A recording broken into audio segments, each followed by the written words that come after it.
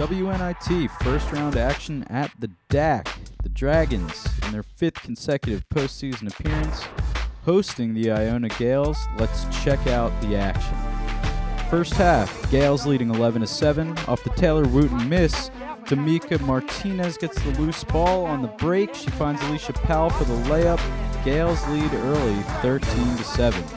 Later in the first, Drexel down two. Holly Mershon finds Fiona Flanagan, who drills a three. Then Flanagan returns the favor, finding a cutting Mershon for the jumper in the lane. Mershon had 15 points in the game, and the Dragons lead at the half, 23 to 18. Second half, more Flanagan gets the pass in the corner and knocks down the three. Dragons up 29 to 20. Then, from the top of the key, Flanagan connects on another. Fiona Flanagan, 11 points in the game on 3 of 6 from beyond the arc. She was on fire. Dragons now pulling away. Renee Johnson Allen with the pretty pass to Taylor Wooten for the layup down low. Dragons leading 38 to 26 at this point, and finally Johnson Allen with the cross court pass to Megan Creighton for the three from the wing.